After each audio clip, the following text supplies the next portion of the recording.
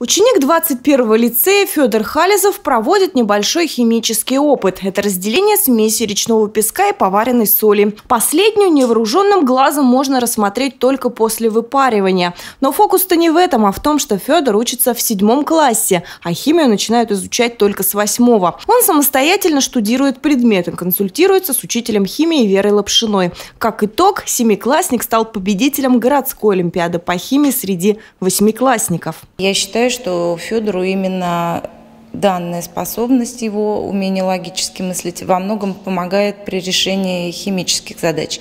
Иногда он, не зная даже химических формул, э, решает задачи, э, основываясь на математической логике, за что нужно сказать огромное спасибо учителям математики, которые его готовят.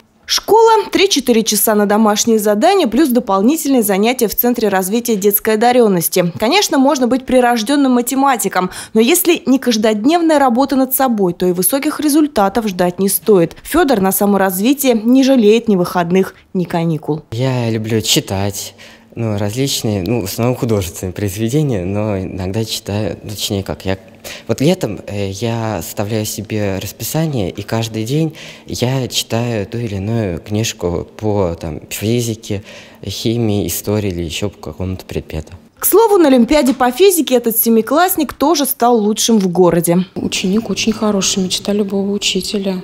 У него нестандартный вообще подход к, мышлению, ну, к решению задач сразу обнаружился. И, ну и кроме того, блестящие, конечно, математические способности. В четверг призеры городских олимпиад получили премию одаренной молодежи. Неоднократных победителей предметных олимпиад поздравил председатель Дома Александр Кузьмичев. Среди лауреатов и Федор Хализов. Елена Белова, Денис Денисов, РТВ Иванова.